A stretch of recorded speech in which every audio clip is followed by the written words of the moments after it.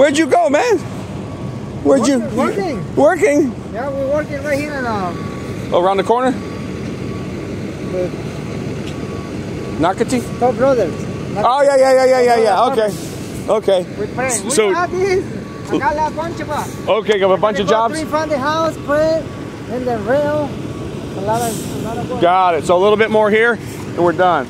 So, all right, the sidewalk is almost done being poured. We just got that little bit, uh, emptied the truck out. We need a teeny bit more. And uh, the drywall guys are being very patient with this because uh, he ran off to go do another job. The concrete truck came here at 10 o'clock on time and he waited around 30 minutes and the mud started cooking off, so he had to leave. And the drywall guys were very, very patient uh, with that little fiasco there. So uh, a little inconvenience, but uh, thankfully no one's yelled at me yet. I think all the workers are seeing what's going on. Irrigation is all sleeved, they're gone. And uh, it's just a busy day. And I had a wonderful customer uh, stop by and visit Bill for building 15. We had a nice chat to get, get to know each other a bit, and that was real fun.